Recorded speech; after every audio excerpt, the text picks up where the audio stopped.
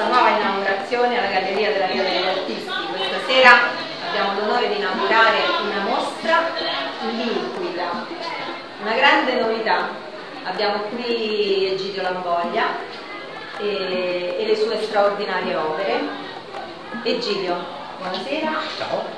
Ciao. Perché questo nome? Liquida, con la Q maiuscola. Con la Q maiuscola, sì.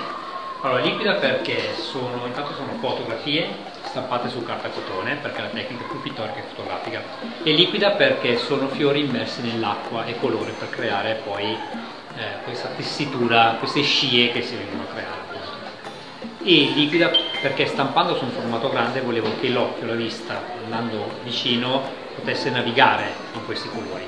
Di conseguenza liquida era il nome. Allora, per il linguaggio dei fiori, eh, qui alla Galleria degli Artisti eh, abbiamo scelto delle opere che rappresentassero fiori. Sì? Però tu fai anche molti altri soggetti, no? Con questa tecnica. Con questa tecnica, no, con ehm, nell'acqua no. Nell'acqua Ah, nell'acqua fatto solo fiori. solo- sì, solo, solo liquida, neanche solo fiori, perché i fiori, i primi fiori, quelli piccoli ad esempio, su, stampati su carta fatta a mano, sono invece solo una ricerca, sono molto più essenziali, sono solo una ricerca di, eh, di linee, gli sfondi erano molto più puliti ad esempio, Mhm. e, e sono antecedenti a liquida. Con liquida invece ho tolto il ruolo da protagonista al fiore per darlo alla totalità dell'immagine, soprattutto allo sfondo proprio.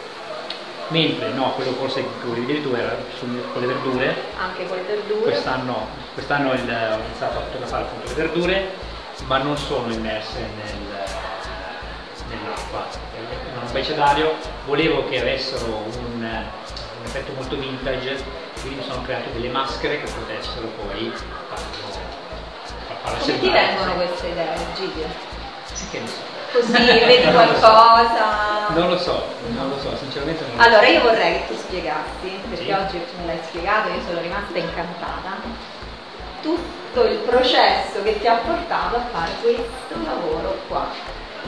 Questo lo... Allora, diciamo il titolo. Allora, no, questo titolo, l'opera in sé si chiama, si chiama Ie, che in giapponese vuol dire casa, è questo, questo simbolo. Mi è stato regalato questo, eh, questo kimono che è stato creato cucendo a mano 33 pannelli. I pannelli riprendono la- le, le porte scorrevoli delle case giapponesi e eh, questi 33 pannelli appunto simboleggiano casa. Perché 33? Perché la persona che me l'ha regalato fondamentalmente si chiama 12, mentre io mi chiamo 21. Cioè, da, quando siamo, da, quando, no, da quando siamo conosciuti ci chiamiamo così, da sempre.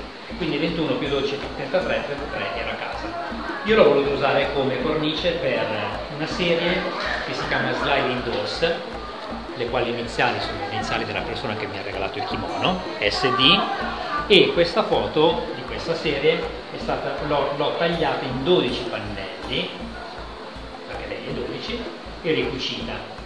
Per poter, per poterlo usare come cornice ho creato ombre, nel frattempo stavo lavorando con eh, l'abecedario, quindi con le lettere, con i dialetti, e mi sono creato eh, questo, questo simbolo che è dato da una N e una Z.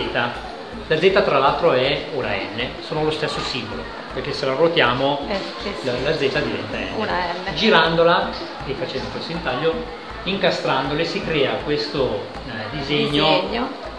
E che per me- ZN, che, per me- numero ma- sono? no, beh, questo disegno intanto è per me è quella casa che disegnavo da piccolo senza staccare la, la- la penna dal foglio.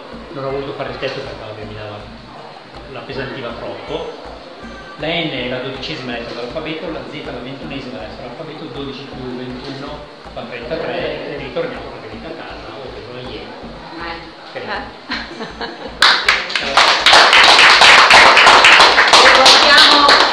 Metto qui dietro, ricordiamo che la mostra di Egidio eh, inizia oggi e termina il 12 maggio, quindi mi raccomando, eh, dovete assolutamente venire.